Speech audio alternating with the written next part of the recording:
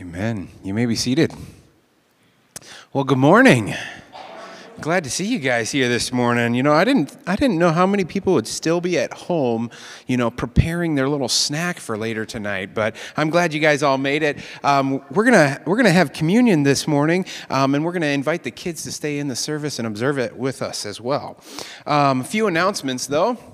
First up is our Super Bowl party. Yeah, that's happening tonight, uh, right downstairs. Um, the, the doors open at 4.30 for that, so uh, bring your friends, bring your family, bring your food, bring your game. If you have a board game, maybe you're not as interested in the game, more interested in the commercials, so you have time for that. Um, but if you have a little board game you want to play with some people, feel free to bring that as well. Um, also, if you're able to help uh, set up for, for um, the tables and everything else that goes into that downstairs, uh, that begins at 3.30. And talk to Mark Miller or Rachel Miller, and they'll, they'll make sure they have enough hands to get that going. Um, but that's happening tonight, so we'll see you tonight at that. Uh, game kicks off at 5:30. Um, I won't be wearing either team. I like to, you know, be in between on this one. I think, um, but feel free to wear your Chiefs or Niners gear. Uh, next up, we have our ladies' movie night. That's the movie Ever After. That's happening on February 16th. Uh, that starts at 6:30 right here in the church. So if you're a lady and you've got maybe uh, some intentions on going that, put that down in your calendar right there. And uh, if you have a friend, maybe also invite them. That would be a great way to just connect with other people. Um, we have our What's Your Story? Do you guys remember seeing that big banner right out there in the foyer out there? Well, it's new ish again. Um, that's. Uh, that's been revamped. Um, there's seven to nine minute um, new stories uh, on on the What's Your Story app. Um, you can load it through the church app as well. Um, but uh, there's new stories on there. It's very, very more more interactive. I don't know how you say that um, because you can respond to other people's comments that they have on there. So maybe read through a couple of those and, and see if you've got um, something that connects with another person there. Um, but be sure to check that out as well. Uh, next up is our men's breakfast. All right, guys, we all know that some of our cholesterol is a little high, but we will enjoy the occasional sausage, bacon, eggs, you know, all that good stuff. Um, but that's happening on March 24th. We have a men's breakfast right here, March 24th at 8:30 a.m. So, guys, put that down in your calendar as well. And then, last but not least, we have our Prayer First conference. That's uh, March 4th through the 6th, and uh, Converge Church has the opportunity to host that this year. Um, so we just want to get that on your guys' radar as well. Um, and then there will be more to come with that later on as the weeks go. Uh, and with that, Pastor Brian. Thank you, brother. All right. Let's see. Peggy and Alicia, good to see you. Um, we're glad you're here. And uh, an update on, on Greg is that he's at Madonna and uh, going through physical therapy, but continue to pray for his healing. And, and Linda and Andrea, good to see you back. I'm glad you've recovered. And, and Bud and Pat, good to see. Any others?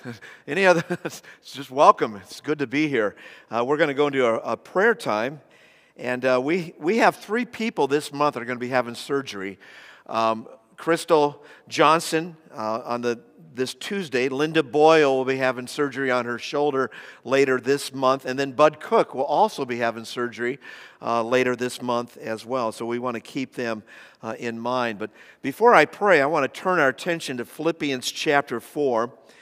And often we begin in verse 6 where it says, Do not be anxious about anything. But I want to begin at the very end of verse 4 or verse 5 where it says, The Lord is at hand, or the Lord is near.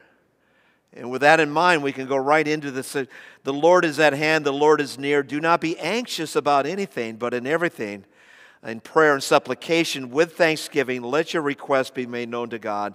And the peace of God, which surpasses all understanding, will guard your hearts and minds in Christ Jesus. Uh, let's pray. Father, we do acknowledge that you are at hand, uh, that through your Holy Spirit you are near. And, and therefore, we could freely worship you as we've been doing today in the last few minutes, and we'll continue to do that. And we can we have full access to your throne room through prayer. And so, Father, you tell us that since you are near, that we're not to be anxious about anything. So, Father, whatever is, is causing worry, whatever is causing anxiety in our life right now, we just want to place it in your hands. We want to, we want to pray about it. We want to bring it to you as a supplication. We want to, we want to bring it to you with thanksgiving. And so, whatever we're going through right now, Father, thank you, thank you, thank you. We just put it into your hands, knowing that you're on the throne and that you're always working out your will and your plan for us uh, as we uh, go through this life. We thank you that you never abandon us. We thank you, Lord, that you don't leave us to our own strength, that we can come to you uh, with our supplications, with thanksgiving, and then we can embrace a wonderful promise that your peace, a peace that will, uh, is beyond all comprehension, will guard our hearts and minds in Christ Jesus. Thank you for a wonderful promise, Father. Father, we want to pray for those who, who need uh, your healing touch. We, we lift up Greg Anderson, uh, Sue Ingram, Jan Johnson, uh, Ruth Apperson, Irene Rogers, Perla Relis, uh, Jim Gaberson, Jen Sturkin, Linda Cummings, uh, Larry Harold, um, Grace Royston, Bess Galloway, Jan Sturkin, um, we pray for Crystal and Linda and Bud as they be facing surgery later this month, Lord. We pray for your, your grace and your peace in each of their lives, Lord. We pray for family members, Lord, that you would strengthen faith and, and um, encourage their hearts, Lord. We thank you for the fellowship of Converge Church where we know that we're not going through something alone, that we have our community group, we have our brothers and sisters in, in, in Christ. And, and so, Father, all glory and praise belongs to you that we are, are able to be part of such a wonderful fellowship, Lord. We, um, we think of the world stage now, Father, the situation in the Middle East.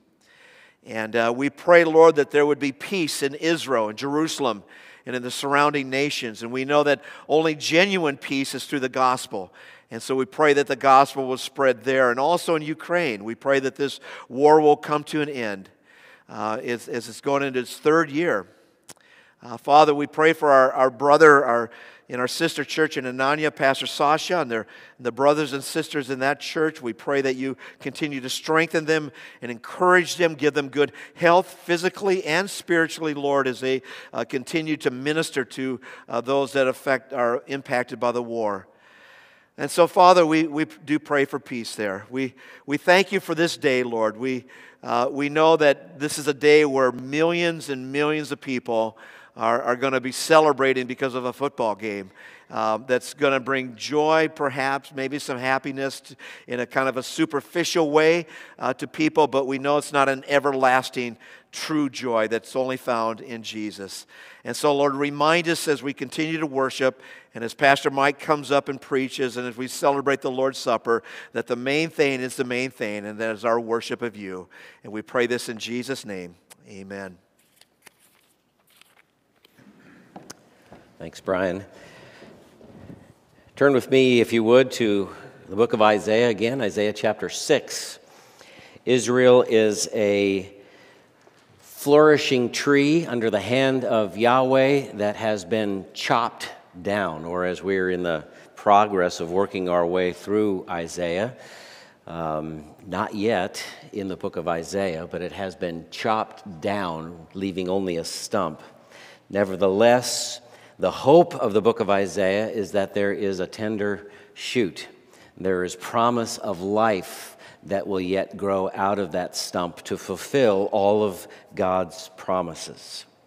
Isaiah chapter 6 In the year King Uzziah died, in the year King Uzziah died, Uzziah as a king was powerful he was popular and he was a godly king, despite violating God's command at the very tail end of his life and being chastened by God. And towards the end of his reign, then, a dark shadow, I can't help but think, thinking of Lord of the Rings, this dark shadow began to creep over the land. And so the people in Israel were still experiencing to a large degree the, the prosperity, the good times that they had gotten used to under Uzziah's reign. But they could see something. They could see something on the horizon, and it didn't look good. And it was fearful for many of them. It began to look like the days of prosperity were over, and parents were wondering what kind of world their children would grow up in. From your own experience, you can imagine that Isaiah, as well as other faithful, were wondering where is God in all of this? Where is God in all of this? It's not like Isaiah could just stroll into the most holy place of the temple and ask a few questions. Anybody here seen God? Where is he? Can you show us? But God blessed him with a vision, didn't he? Isaiah chapter 6. God blessed him with a vision that was so much greater even than Solomon's temple in Jerusalem. A vision of the temple, actual temple, the eternal house of God in the heavens. And what Isaiah discovered was there is no vacant throne. The throne is occupied just as it always has been by the great God of the universe. In fact, what he learned was that God is greater than he ever imagined. And that's significant. That God was greater than he ever had imagined. In the Second World War, there was a young Anglican minister, and uh, along with virtually every other Londoner, he was driven down into places of shelter during the, the London Blitz when all the bombings were taking place. And when he was down there, he had time to think about his ministry, and he, he recollected the fact that the young people just couldn't understand their King James Version Bibles. They were frustrated with the language there, and it didn't seem relevant to them. And so he began, while he was actually in the bomb shelters, began translating a new version of the New Testament, uh, one that we now call the Phillips translation of the New Testament. Uh, in 1953, this same J.B. Phillips, who translated the New Testament, he wrote this book, Your God is Too Small. Your God is Too Small. And what he wrote 70 years ago is still just as relevant today. I would encourage you, uh, if you've never seen that book, you can just Google it, right? You Google everything. Google it. You can find a PDF online of the whole book since it's old enough now. Uh, so look for that online. I think you'll find it very helpful. He writes in the book No one is ever really at ease in facing what we call life and death without a religious faith. Listen now, the trouble with many people today is that they have not found a God big enough for modern needs. While their experience of life has grown in a score of different directions, and their mental horizons have been expanded to the point of bewilderment by world events and by scientific discoveries, mind you, 1953, their ideas of God have remained largely static. See what he's saying? Everything else has blown up to immeasurable proportions. And God's still just like this. He goes on. It is, uh, this is so powerful. Please let it sink in.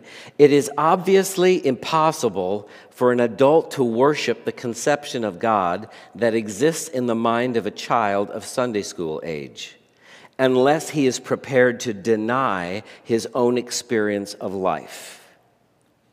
If by a great effort of will he does do this, he will always be secretly afraid lest some new truth may expose the juvenility of his faith. And it will always be by such an effort that he either worships or serves a God who is really too small to command his adult loyalty and cooperation. Oh, that penetrates deep, doesn't it? Our conception of God which will always be somewhat less than the actual reality of the greatness of God, nevertheless must continue to grow. or we'll find ourselves in a struggle that he doesn't meet the needs of our modern world. That's what Isaiah discovered. God, Israel's God was, in a sense, literally God in a box. We've got a picture up there. The most holy place where the ark was housed was a perfect cube.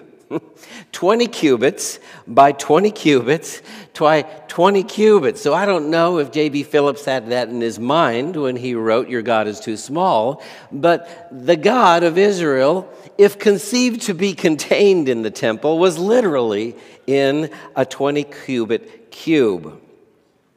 I seriously doubt that any of Isaiah's contemporaries thought that God was stuck there or that the temple could contain him in any sense. And yet they had to be vulnerable to the same, same temptation that we are. If they were human like we are, they had to be susceptible to the same temptation the temptation to doubt that God is big enough for our modern needs. Chapter 6, Isaiah chapter 6. It's at the end of this one to six chapter thumbnail that I have described. I think all of the elements um, in, their, in their elemental form from, throughout all of Isaiah are contained in these first six chapters. It prefigures what will be detailed in the latter half of the book and answers the question how will Israel get from doom, think the woes of chapter 5, to destiny, Think the promise of chapter 2. In 2 5, the prophet appeals to them, O house of Jacob, come, let's walk in the light of the Lord. But they have refused to do so. In chapter 5, Isaiah concludes If one looks to the land, behold, darkness, distress, and the light is darkened by its clouds. If we don't wake up to God's promises and warnings so that darkness descends on us, what's the remedy then? What's the remedy then? Isaiah answers, God answers with the vision of chapter 6 only a radical act of God's grace can awaken us to the reality and our responsibility to God. So we read in 6 1 to 4. I'll repeat what Brian has already read. In the year that King Uzziah died, I saw the Lord sitting upon a throne, high and lifted up, and the train of his robe filled the temple. Above him stood the seraphim. Each had six wings. With two he covered his face, with two he covered his feet, and with two he flew. And one called to another and said, Holy, holy, holy is the Lord of hosts. The whole earth is full of his glory. And the foundations of the threshold shook at the voice of him who called, and the house was filled with smoke.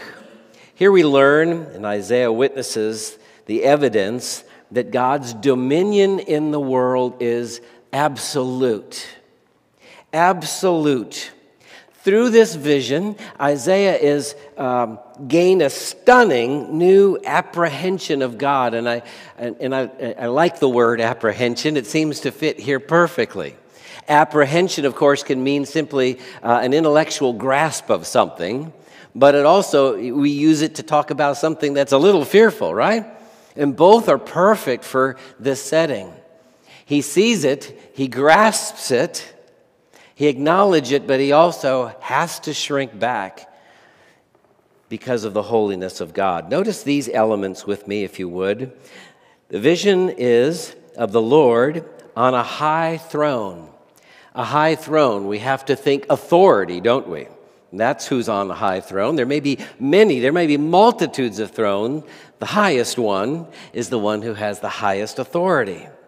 The one who sits on the throne has a robe and I believe that that robe symbolizes his conquest. That robe that Isaiah describes fills the temple, doesn't it? It fills, in fact, to be more specific, it's the train of the robe.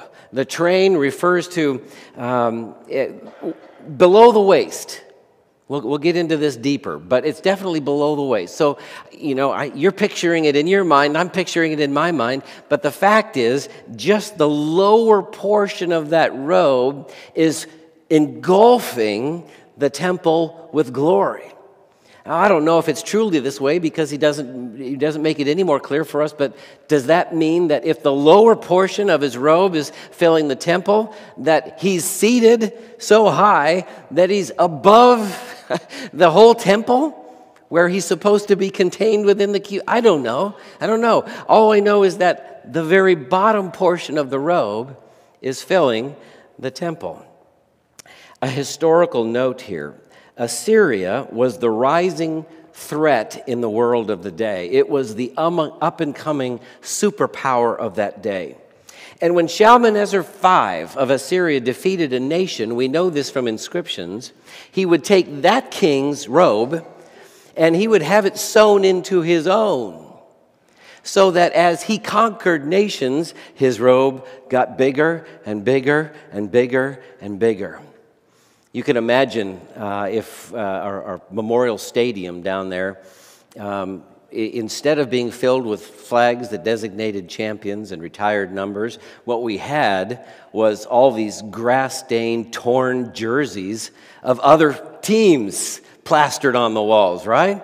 We're saying we have dominated and I believe that that's a portion of what is symbolized here that his throne is expanding and it's filling the temple with glory because it shows his authority over all nations.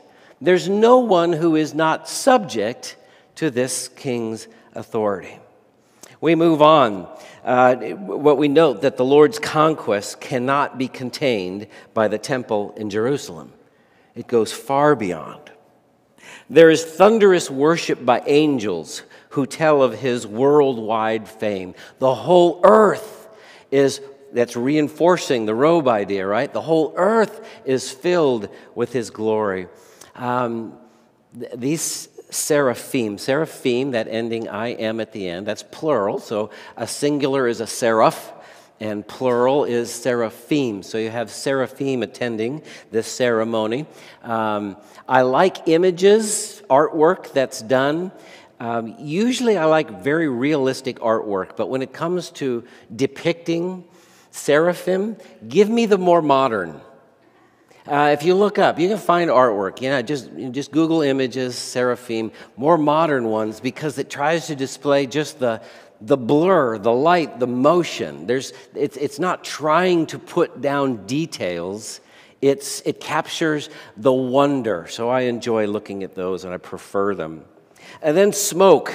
Smoke adds to the mystery.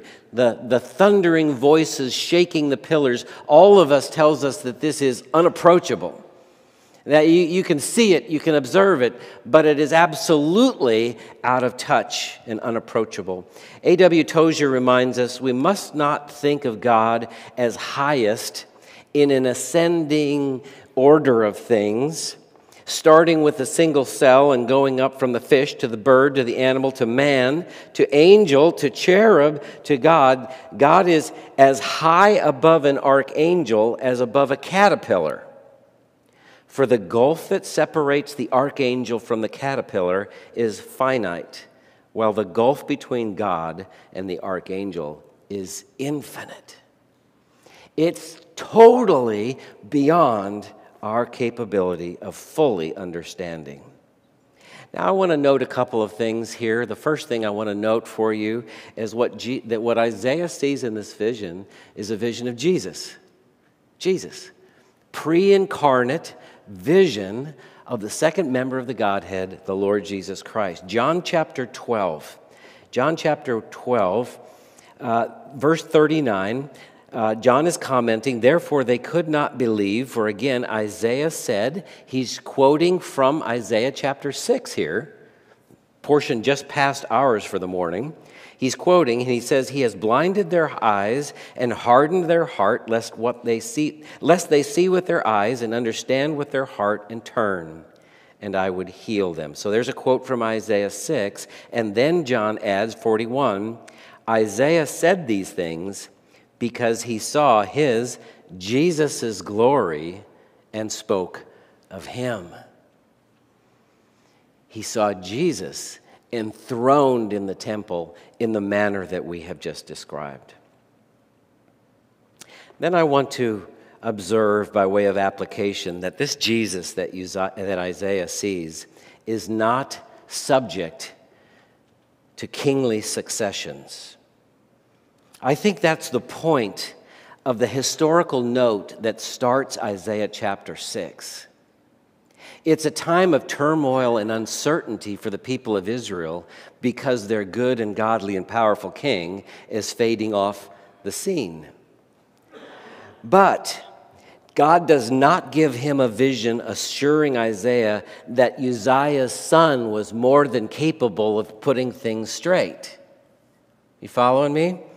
It does not matter, or it was not the assurance to the nation that a fearful glance around was unfounded, that there really was nothing out there going on that was be too big for Judah and Jerusalem.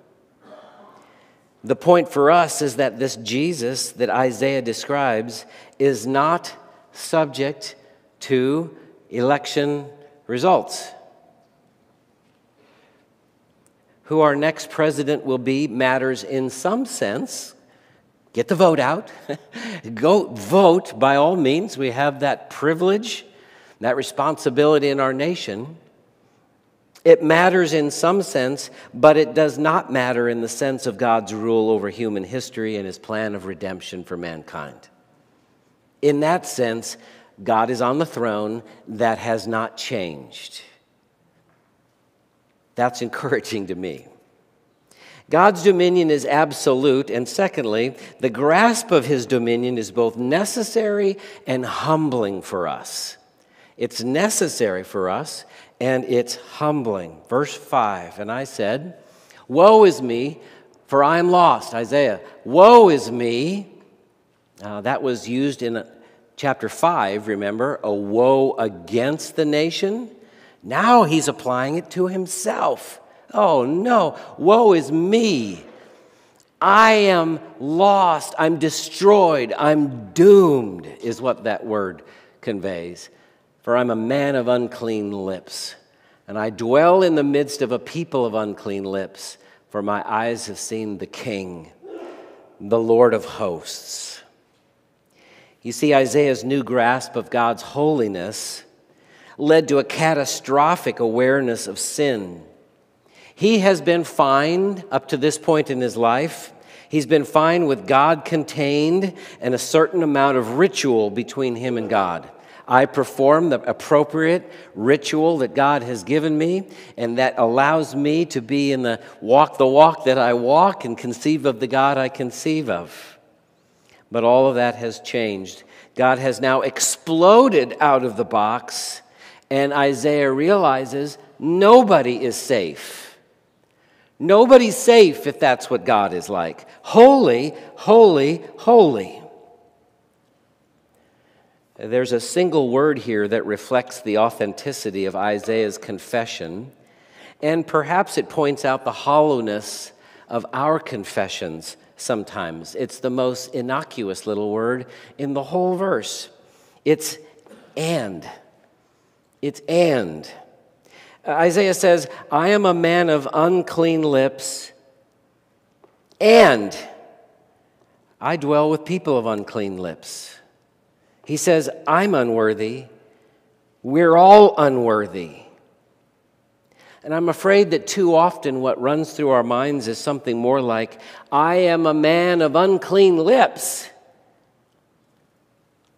But fortunately, my lips are not as unclean as the lips of the people in my community group. My lips are not as unclean as others who are around me. I have unclean lips, but. But the sincerity, I believe, of Isaiah's confession comes through that he doesn't distance himself from anybody, anybody at all.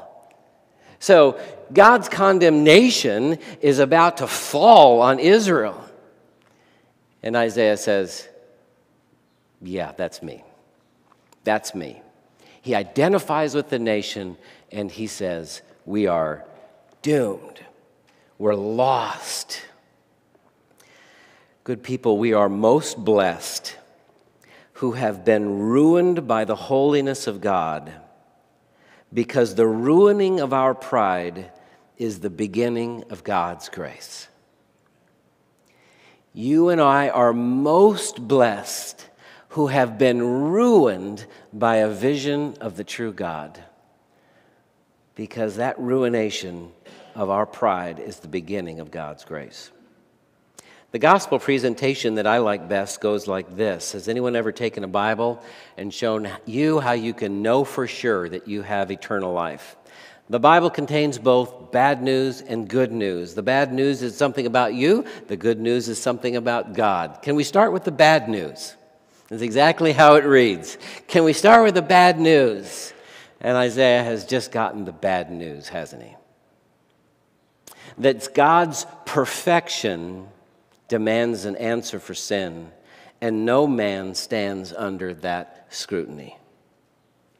Well, that's not the end of the story, is it? God's atoning work is alone sufficient, but abundantly available to absolve our guilt and qualify us to serve. So the vision goes on, verse 6. Then one of the seraphim flew to me. See, here's what, here's up to this point, it just looks like he's been seeing it. And now all of a sudden, 3D, right? Oh, it's flying to me. And having in his hand a burning coal that he had taken with tongs from the altar, and he touched my mouth, and he said, Behold, this has touched your lips, your guilt is taken away, your sin is atoned for.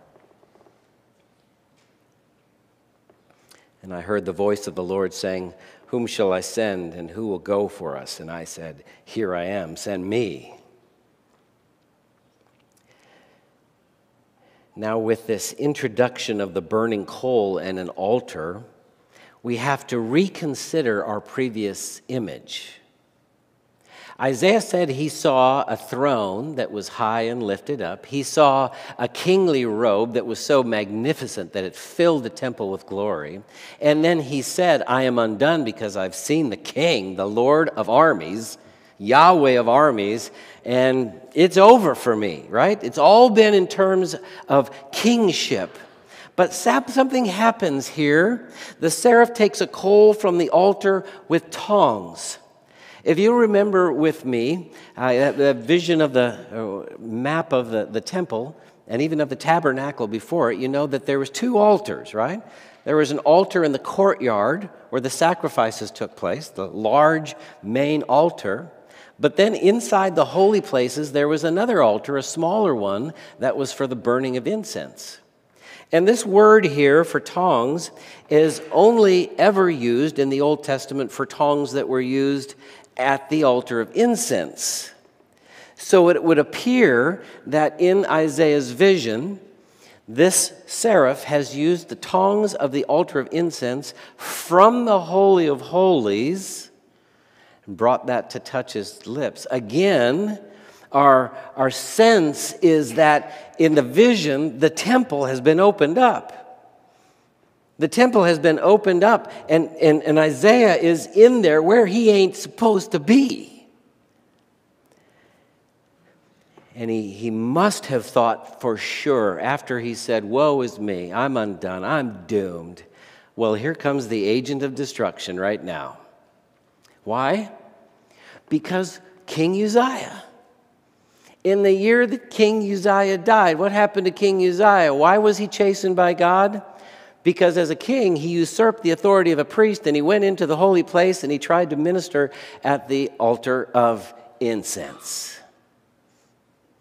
And so now we suddenly are thinking, we rethink, okay, I had king before, now I'm getting this priest vibe.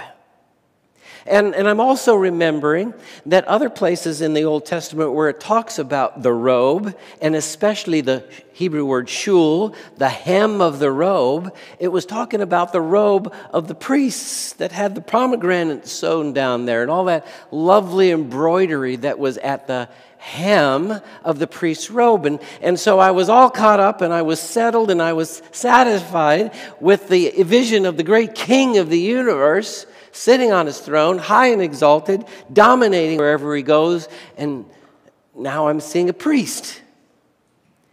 Now, now I'm seeing a priest and I'm into the temple and I'm being ministered to, and my sins are being cleansed by a priestly action of the very king that I had seen before a priest and a king. This firestorm of divine judgment turned out to be an act of God's atoning grace. Now, where else have you seen a firestorm of God's judgment that becomes an atoning place of God's grace? Of course, you know where.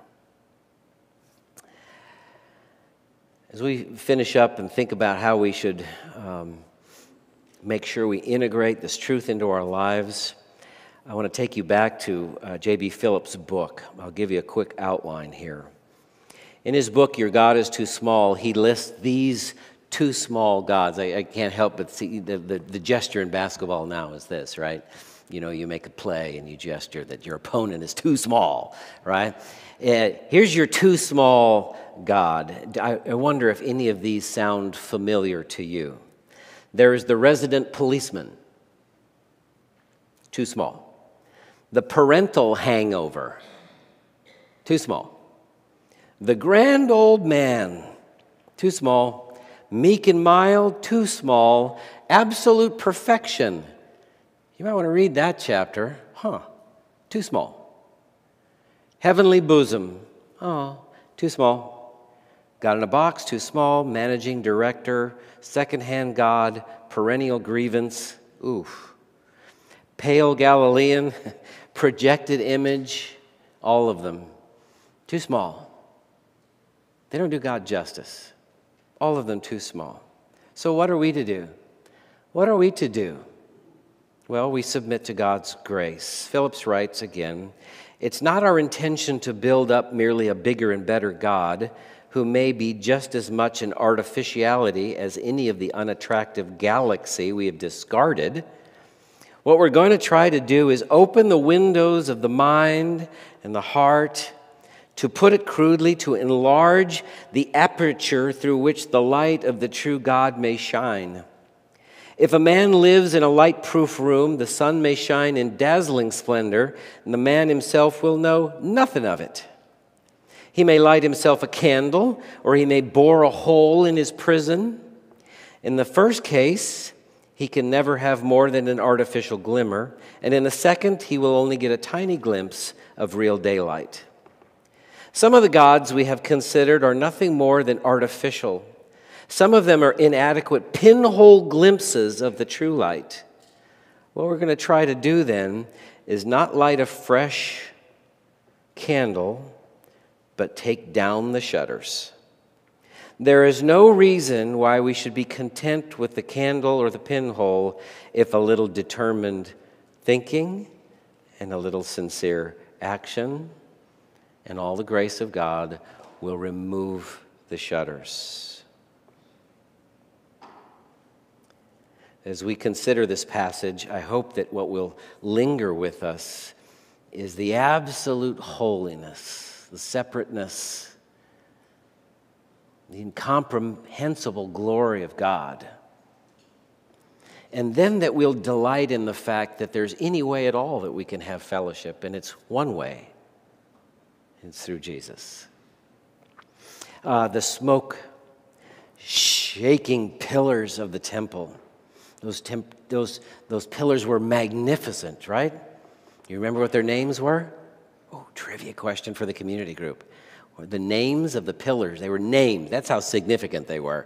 Named the pillars of, they were shaking. They were shaking, and all of this gives us the impression that you're forbidden to come any closer. Not for us.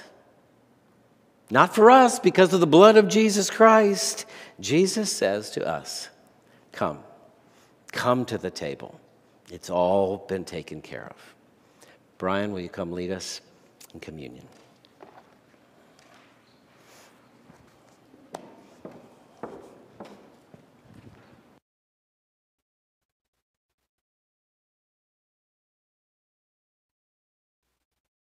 help pass out the elements. Thank you, gentlemen. Appreciate it. We're about to celebrate the Lord's Supper, and as Pastor Mike rightly pointed out, that we have access to come to the table because of the blood of Jesus. If Jesus Christ is your Lord and Savior, then you are, you are welcome to celebrate. Of course, today is Super Bowl 58. Millions of people will be yelling and cheering uh, later today. Uh, when touchdowns are scored, there will be celebration throughout the nation and the world. Uh, when the game is over, uh, winners declared, millions of people will celebrate uh, throughout the night and beyond. Uh, imagine the honking of horns, the, the fireworks, tears of joy either in Kansas City or San Francisco after the game. I'm certainly not against celebrating when your favorite team wins at all. Uh, in my lifetime, my favorite baseball team, the Boston Red Sox, have won the World Series four times. My favorite football team, the Pittsburgh Steelers, have won the Super Bowl six times. Did each of those wins make me happy? Yeah. Did, did they produce joy? Well, yeah, a little bit of joy. Uh, did those wins produce everlasting joy? Absolutely not. Not, not even close. True and everlasting joy is only produced through our personal relationship with Jesus Christ. In John chapter 15, verse 5, Jesus said to his disciples and to us, I am the vine, you are the branches. Whoever abides in me and I in him, it is he that bears much fruit, for apart from me you can do nothing. We abide in Christ through trust, through prayer, through our obedience, and as we continually nurture our relationship with Jesus, we're going to bear much fruit. That is spiritual fruit with eternal value. Our words, our, our actions can have an eternal impact on the people around us. And as we love and obey Jesus, joy, true joy, will be one of the results. A few verses later, in that same chapter, John 15, verse 11, Jesus said, These things I have spoken to you, that my joy may be in you, and that your joy may be complete. So that great joy of Jesus can be our complete joy, a joy that will last any joy that this world produces. So let's joyfully come to the Lord's table. Let's celebrate the supreme and ultimate sacrifice of Jesus on the cross for our sins. The, the, the bread and the cup, they, they point us to the cross. They, uh, where the innocent, sinless Jesus died in our place, and he absorbed the wrath of God which we deserve. He died, he was buried, and three days later, he was raised from the dead through the power of God. Uh, our sins separate us from a holy God, but Jesus paid the price with his life and blood. Let's take the bread. Uh, it symbolizes the body of Christ that was sacrificed for us. Let us eat this bread together in remembrance of Jesus.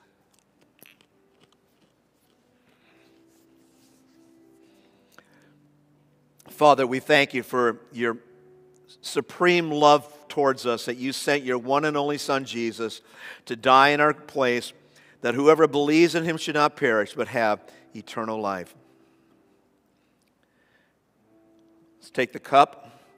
Symbolizes the shed blood of Jesus. Let's drink this in remembrance of him.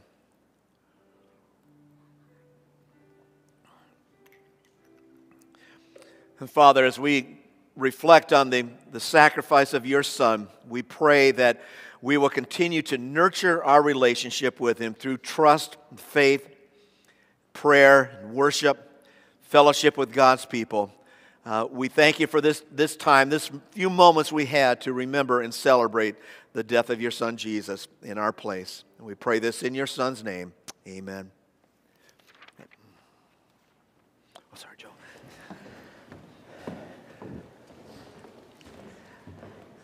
Thank you for worshiping with us. Thank you for those uh, online who may have tuned in uh, via that, that mode. Uh, appreciate having you all together to consider God's Word together. What we like to do is to turn commentary into conversation. So I hope you have enjoyed some, in some way the commentary that I've given on Isaiah, probably just as important, maybe more is conversation that comes out of this as you process what you've heard and have a chance to talk about it with someone else. So, our regular policy is that uh, 10 to 15 minutes after the service, we go to our community groups. And if you're not part of one of those, we'd love to have you participate just to get that word to sink a little bit deeper into your understanding. If you're not here with us today in person, you can send questions to uh, mike at convergechurchomaha.org, and I'd love to interact with you uh, that way uh, answer questions and, and just get the conversation going. So please feel free.